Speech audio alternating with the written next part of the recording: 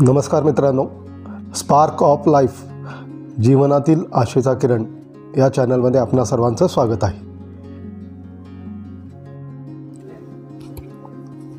आज आपण पाहणार आहोत पुणे येथील सारसबागजवळील श्री खंडोबा मंदिर. हे आपण मंदिर पाहू शकता श्री खंडोबा मंदिर. पुण्यातील स्वारगेट बस स्टँडपासून हे खूपच जवळच्या अंतरावर आहे.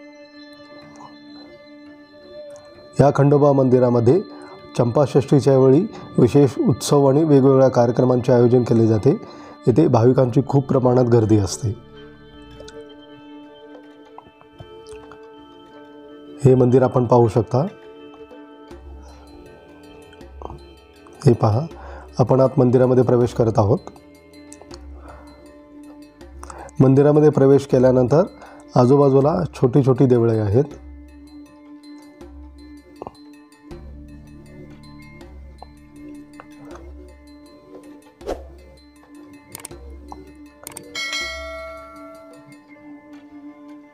मंदिरातील आजूबाजूचा परिसर आपण पाहू शकता.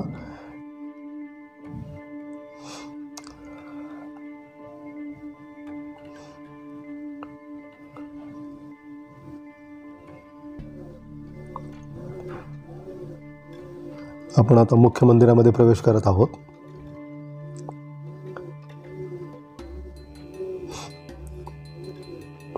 इथे आपण अश्व किंवा घोडा पाहू शकता.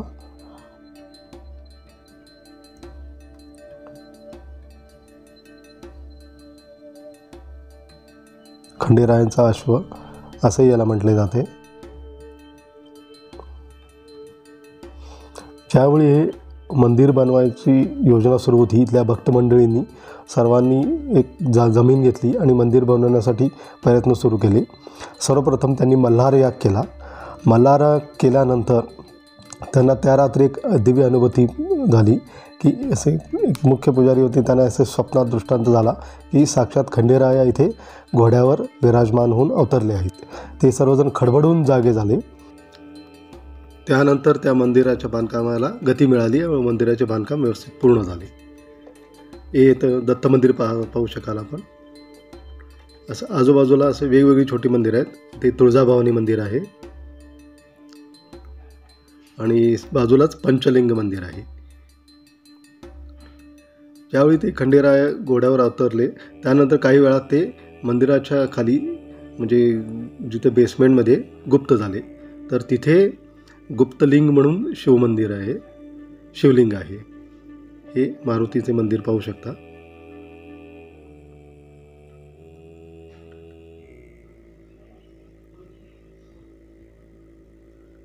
हा स्तंभ पाहू शकता देवी लावण्यासाठी.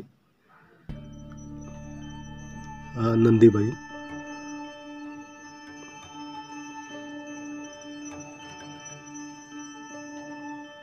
हे कासव आणि आपण मुख्य मंदिरात आपण प्रवेश करत आहोत.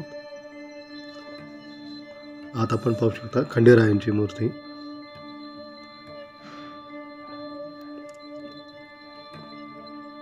येथील मूर्ती खूप सुंदर आणि आकर्षक आहे.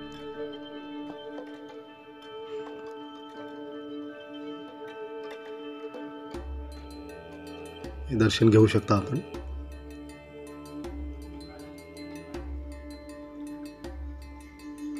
हे एक अत्यंत जागृत देवस्थान आहे. खंडेरायांच्या कृपाशीर्वादाने बऱ्याच लोकांना खूप चांगले अनुभव आले आहेत. त्यांचे नवस पूर्ण झालेले आहेत. त्यामुळे खूप लोक इथे येऊन नवस बोलतात व ते पूर्ण झाल्यावर नवस फेडतात. चंपाषष्ठीला विशेष इथे उत्सव असतो गर्दी असते. काही लोकांना ज्येष्ठ लोकांना जेजुरीला वगैरे जाता येत नाही तिथे गडाच्या पायऱ्या वगैरे असताना त्यांना वरती जायला त्रास होतो. ते लोक येऊन इथे दर्शन घेऊ शकतात.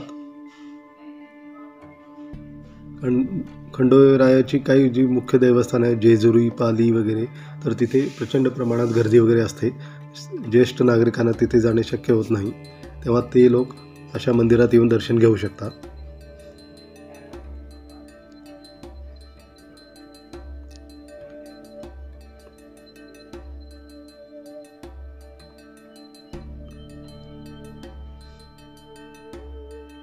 हे मंदिराच्या आतील परिसर आपण पाहू शकता. मुख्य गर्भगृह ही दानपेटी.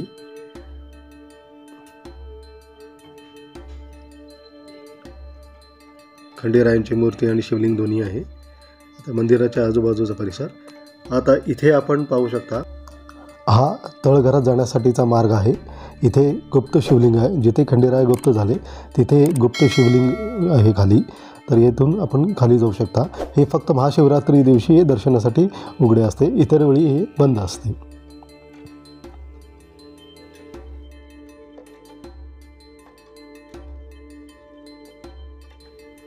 मंदिराच्या साईडला किल्ल्याला शोभेल अशी कलाकृती केलेली आहे. आपण बघू शकता. ते बुरुजाप्रमाणे.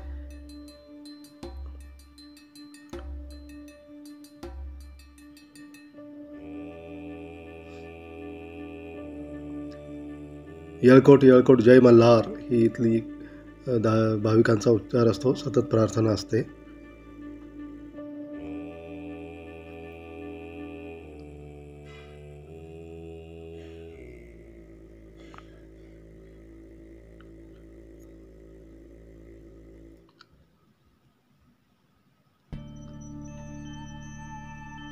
मुख्य मूर्ती आपण पाहू शकता.